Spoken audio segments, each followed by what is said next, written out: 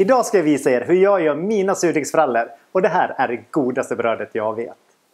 Jag gör mina surdegsfrallor på rågsurdegsgrund och jag kommer visa er ända från början. Så för att komma till det här brödet så får ni hänga med och titta hur det såg ut för en vecka sedan. Dag 1. Nu ska vi sätta igång våran surdegsgrund. Och det första vi gör är att vi blandar 1,5 deciliter vatten med 1 deciliter rågmjöl. Och det får gärna vara ett eh, grovmalt, ekologiskt mjöl och det får gärna vara närproducerat, närmalet. Men jag tänkte visa idag. Idag kommer jag använda det här som finns på Coop och Ica här i Hofors i alla fall. Så det borde gå att få tag på. Så jag tänkte bara visa att man behöver inte leta sig fördärvad och krångla till det allt för mycket. Så vi kör det enkelt den här gången. Riktigt enkelt.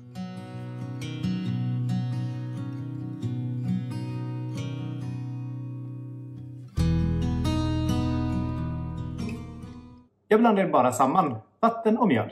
Och nu låter jag locket stå öppet ett par timmar. Och sen innan jag går och lägger mig då stänger jag locket och så återkommer jag till den här lilla surdegsgrunden imorgon. Dag två. Nu ser det ut så här. Surdegsgrunden den har skiktats lite grann. Det jag gör då det är att öppna upp och röra om. Och det är allting jag gör nu på förmiddagen och sen ikväll så kommer jag röra en gång till.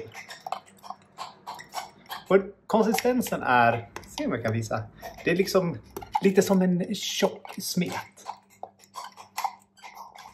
När du rört om, låt gärna burken stå öppen ett par timmar och sen stängd mestadels av tiden. Det är för att man ska få in lite luft och att den andas och man får in så luftporer. För nu är det ju bara mjöl och vatten så det behövs liksom lite bakterier för att få igång den här. Nu är det kväll och eh, den har faktiskt inte skiktat sig någonting nu. Så det enda jag gör det är att öppna upp och röra om. Och det har kommit någon liten bubbla redan. Så det är jätteroligt. Det, är, det här är ju spännande. Det är ju spännande med att man kan göra bröd med vatten och mjöl. Wow. Nu är det dag tre och vi rör i surdegsgrunden morgon och kväll och försöker ha den öppen ett par timmar. Och det har hänt lite grejer nu. Man börjar se lite små bubblor och lite skum. Nu är det dag fyra. Nu matar vi den här lite med 1,5 deciliter rågmjöl och 1 deciliter vatten och låter burken stå öppen i några timmar. Och sen så ska den här vara klar och den har lite så här små bubblor på sig nu men jag tror att min surdegsgrund kommer behöva någon dag till framme och verkligen komma igång. För jag har haft den stå i fönstret och det är minusgrader ute. Så det har varit lite kallt så det har inte riktigt hänt det här som jag hade hoppats skulle hända till den här dagen.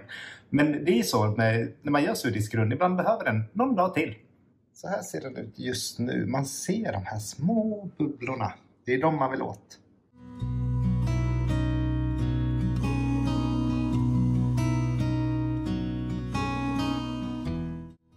Jo, men man ser här. Nu när jag rörde om lite. Se de här små, små, små bubblorna. Den är på gång, men jag vill ha ännu mer bubblor.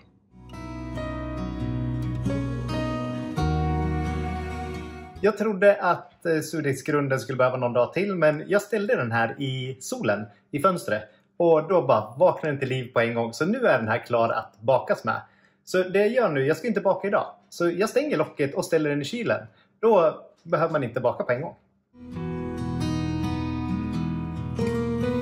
Nu är det dags att börja baka.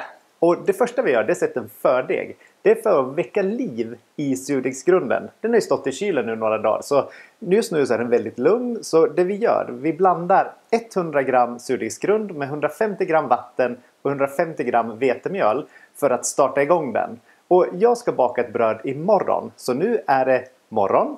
Och ikväll sätter jag degen och sen tar jag fram den från kylen imorgon bitti och låter den jäsa till dubbel storlek innan jag bakar av den.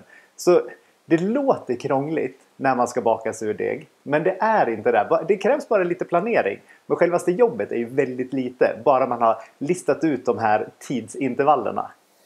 Efter jag har tagit av surdegsgrunden då matar jag på den med ett par matskedar rågmjöl och ett par matskedar vatten och ställer in i kylen igen. Och där kan det stå en vecka eller två utan att du behöver göra någonting tills det är dags att baka igen. Blir det mycket i burken? Ta bort hälften, stoppa i en annan burk och ge till en kompis som kanske är sugen på att starta surdeg.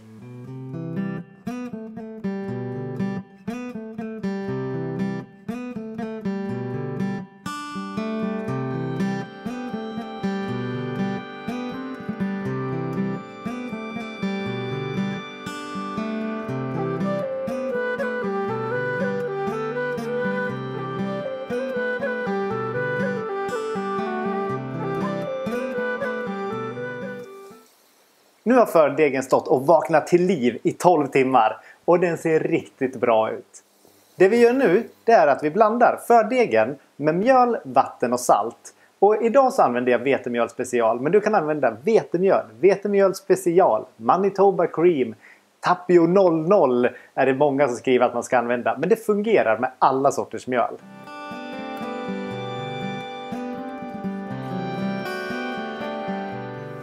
Är din surdegsgrund inte så här bubblig, då finns det ett litet trick man kan göra. Och det är att stoppa i typ en ärtstor bit jäst. Det är bara för att rädda upp så att du fortfarande kan baka av det. För är den inte bubblig och du försöker göra ett bröd ändå, då kommer du få ett helt kompakt bröd som nästan är oätbart.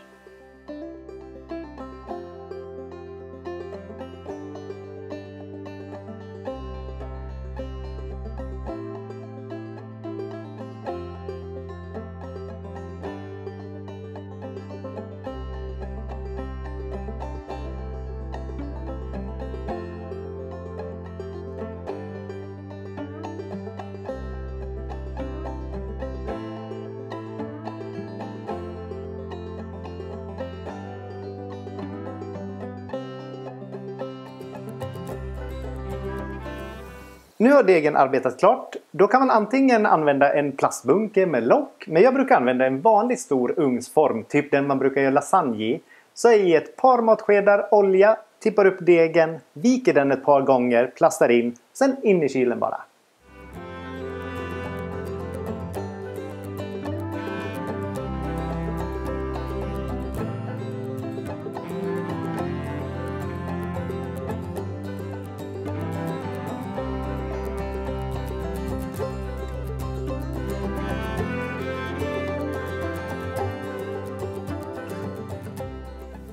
Nu ställer jag in den här i kylen och så tar vi fram den imorgon. Hade jag velat baka av den här idag, då hade jag låtit den stått framme i rumstemperatur tills den har blivit dubbelt så stor. Nu har degen stått i kylen över natten. Nu tar jag fram den här och låter den här gå upp till rumstemperatur och jäsa igång lite grann. Ungefär ett par timmar. Surdeg är verkligen jätteenkelt att göra. Men det är lite lång väntetid. Så jag har lite olika sätt jag brukar lägga upp det på. Men jag skriver det här nere för det blir bara så eh, snurrigt när jag pratar. Jag sätter ugnen på 250 grader, gärna varmluft. Och så stoppar jag in ett bakstål. Oh, det är tungt. Men det går också jättebra om du har en baksten. Eller om du inte har det, då går det jättebra att stoppa in en plåt. Men bara att du har någonting varmt. Så när du stoppar in bröden, att de börjar bakas underifrån direkt. Eh, tippa upp degen på lätt mjölat bakbord. Men knåda den inte. Jag gör mina surdegsfrallor ganska rustika. Bara skär ut eh, lagom stora bitar. Men man kan forma dem också med lätt hand om man vill ha runda frallor.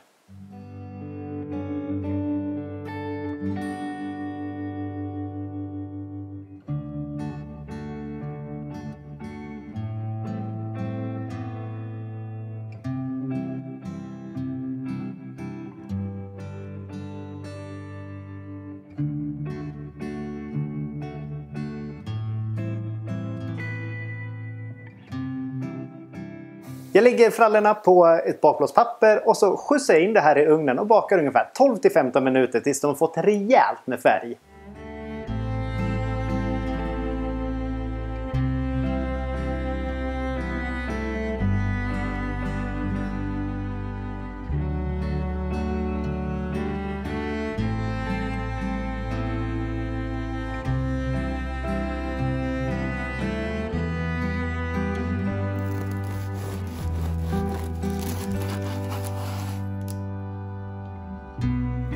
Det doftar så gott här just nu. Det här är de godaste frallorna jag vet. Det går självklart bra att göra de här som en lavain eller större bröd också. Och receptet och hela beskrivningen hittar ni här nedanför. Och gillar ni den här videon? Lämna en tumme upp och prenumerera på min kanal.